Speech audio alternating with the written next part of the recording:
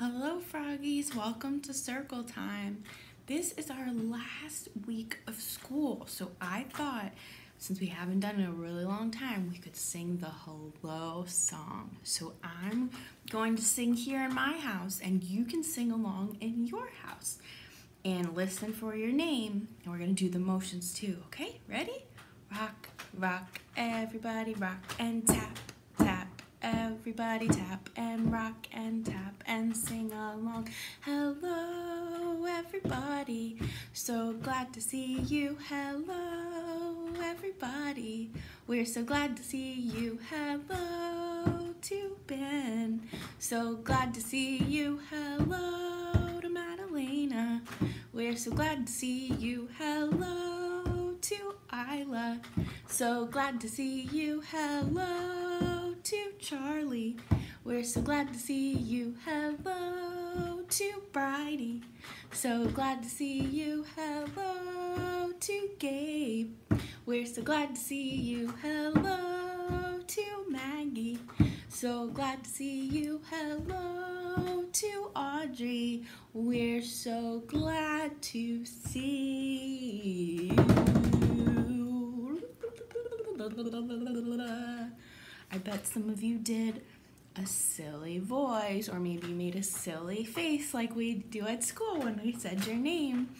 It was nice to sing the hello song. I missed it. So next, let's pray, just like we would at school.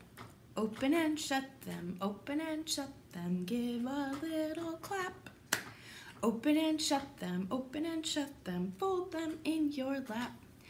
Dear God, thank you so much for all of the Froggie class, and even though I missed them, thank you for all of the time we got to spend together at school and on videos together. Amen.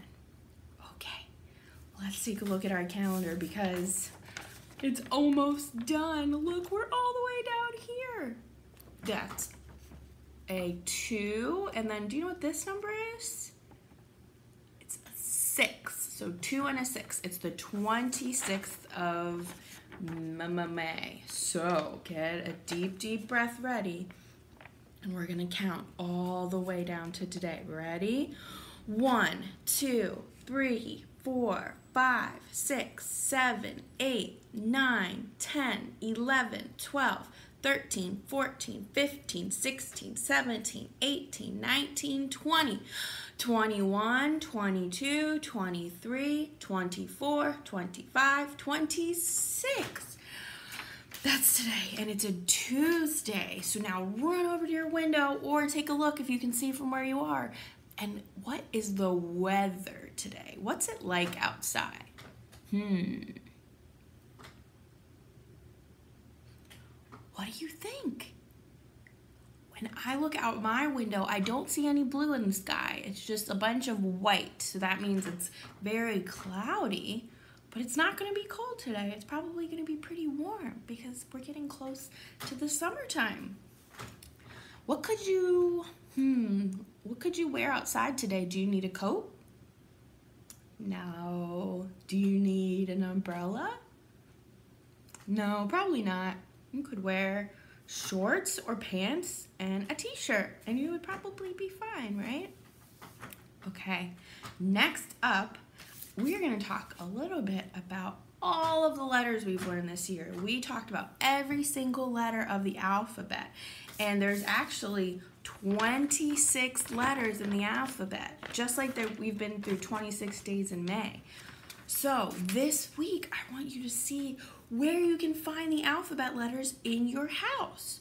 So let me show you some of my ideas. So I found some letters on my box of crayons. It has some paint on it too.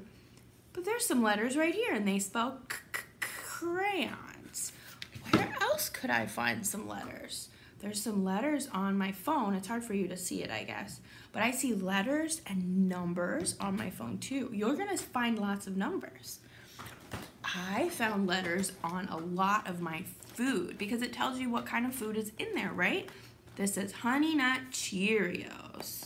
So that's where I found letters there. There's letters when you get things in the mail, right? So this is ripped open because I opened it up already. There's letters to tell the post people, the postman or the postwoman, where to send the letters, right? We talked about that in school around Valentine's Day. So there's letters on my mail. Look, there's even letters on my shoes. It says New Balance. That's the kind of shoes there are. And there's a big N right there. And if you turn it like that, it kind of looks like a Z. And there's letters on my calendar here, right? And then numbers. And of course, there are letters in books. Letters make the words that tell the story and they match the pictures in the book. So this is our mouse paint and all of the letters make words that makes sense so that you can read the story. So you look all over your house and see if you can find letters in some different spots than I found too. Hmm, everywhere. Look, there's even letters on my shirt, I forgot. And there's the sunflower from last week's book. It's my special flower shirt for our flower month. Okay. For the last thing we're gonna do today at circle time is we're going to do our poem. So, get your hands ready. And this Friday at our Zoom meeting, if you want to perform the poem on your own, you'll have a chance, all right? So let's get started and do it. We gotta get our hands ready. Dig a little hole, plant a little seed, pour a little water, and pull a little weed. Throw it away. Chase a little bug. Hi ho, there he goes. Give a little sunshine and grow a little bean. That was great. Good job. Since we're talking about beans in our poem, I wanted to show you my bean. I took it out of its bag and look at all of those roots that are growing trying to suck up the water and bring it close. It's going to be a little hard for it to focus. There is a little plant coming out and the little leaf is getting ready to come out. So it's really growing and growing and soon I think I'll be able to plant it in some dirt. My other little bean that's not growing as much did start to have a little root, that little white line is a little root trying to get out. So, there's some on this side. I think it's trying to grow. So I'm gonna make sure that it has enough water and enough sunlight and we'll see if it can keep growing. All right, we are going to be done with circle time today and we're gonna read our new book in the next video. Bye-bye.